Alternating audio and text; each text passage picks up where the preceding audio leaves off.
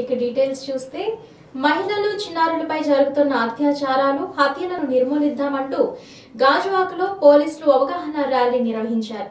వివిధ పార్టీలు ప్రజా సంఘాలు మహిళా సంఘాలు విద్యార్థులు పెద్ద సంఖ్యలో పాల్గొన్నారు. తొలుత ర్యాలీని ఎమ్మెల్యే పల్లా శ్రీనివాసరావు ప్రారంభించారు. అనంతరం ఆయన మాట్లాడుతూ మహిళలపై అరాచకాలను అరికట్టేందుకు ప్రభుత్వం చర్యలు తీసుకుంటుందని అన్నారు. ఇటువంటి ఘటనలు జరగకుండా ముందుగా ప్రజల్లో చైతన్యం తీసుకురావాలని కోరారు. ఎక్కడ ఎటువంటి సంఘటన జరిగినా సమీపంలోని పోలీస్ స్టేషన్లో ఫిర్యాదు చేయాలని పిలుపునిచ్చారు. South ACP J Rammohan Rao zonal commissioner Jagadarao CI Ramarao తదితరులు పాల్గొన్నారు. పాత గాజువాక నుంచి కొత్త గాజువాక వరకు ర్యాలీ చేపట్టారు. ప్లకార్డులు ప్రదర్శిస్తూ నినాదాలు చేశారు.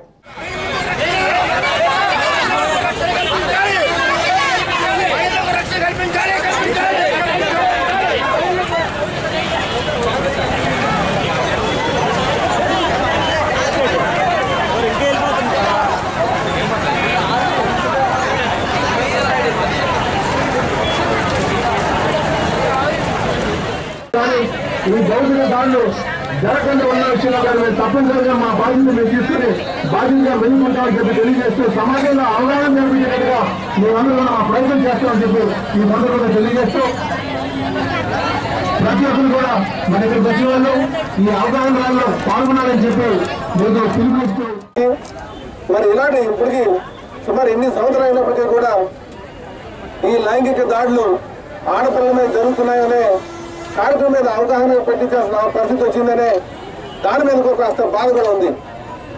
ఏదేమైనప్పటికీ కూడా మనం ఈరోజు ప్రతి ఒక్కరి బాధ్యత ఏంటంటే ఆడపిల్లల్ని మనం కాపాడుకోవాలి వాళ్ళని పరిరక్షించుకోవాలి వాళ్ళని ఏ విధంగా అయితే మనం సమాజం సమాజం అంతా కూడా బాధ్యతగా ఉంటే ఖచ్చితంగా వాళ్ళకి మనం ఈ సమాజంలో వాళ్ళకి రక్షణ కల్పించడానికి ఆస్కారం ఉంటుందని చెప్పి సందర్భంగా తెలియజేస్తున్న చూడలేరా ఇదే విషయంలో మన అందరూ కూడా తెలుసుకోవాల్సిన విషయం ఏంటంటే మరి లైంగిక దాడులు జరుగుతున్నాయి భౌతిక దాడులు జరుగుతున్నాయంటే దీన్ని ఎవరి బాధ్యత అని కూడా మనం ప్రశ్నించుకోవాల్సిన అవసరం ఉంది.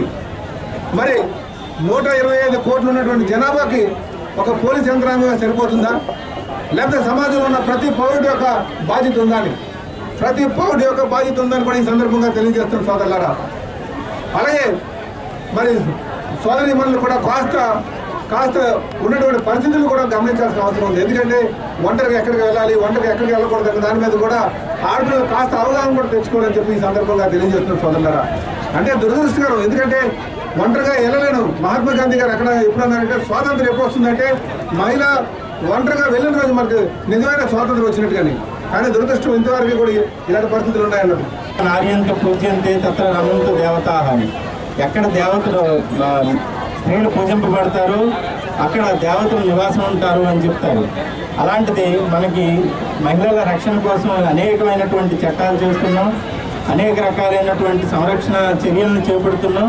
కానీ ఎక్కడో ఒక దగ్గర అవగాహన లోపం వల్ల లేకపోతే కొన్ని నైవంచకుల పాల్పడి అవగాహన లేకపోవడం వల్ల ఈ రకమైనటువంటి సంఘటనలు ఏదో ఒక మూల ఏదో ఒక ప్రాంతంలో రోజు మనకి వార్తల్లోకి వస్తున్నాయి. కాబట్టి దీన్ని నివారించడానికి చైతన్యపరచడం ఒకటే ప్రధానమైనటువంటి మార్గం అని భావించి ఈరోజు ప్రభుత్వం ఒక మహా సంకల్పంతో ఈ పిలుపునిచ్చింది.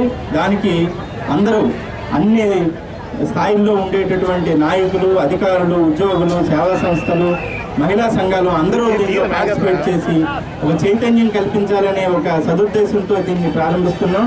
మా ఆహ్వానాన్ని మన్నించి బాధ్యతను కలిగి అలాంటి అవాంఛనీయ సంఘటనలు భవిష్యత్తులో జరగకుండా చూడాలి. అందరికీ అవగాహన కల్పించాలి. అందరూ బాధ్యత వహించాలి అనేటువంటి విషయాన్ని అందరికీ తెలియజేయడం కోసం ఈ ర్యాలీ ఏర్పాటు చేయబడింది. ఈ ర్యాలీలో పాల్గొనడమే కాకుండా ప్రతిరోజు మన చుట్టూ మన ఆఫీసుల్లో మన సమాజంలో జరిగేటువంటి ఇలాంటి కార్యక్రమాలు నాకెందుకు లేని ఎవరు కూడా వదిలేయవద్దు. ప్రతి ఒక్కరూ కూడా బాధ్యత తీసుకుని ఇలాంటి కార్యక్రమాలు జరగకుండా చూడాలి.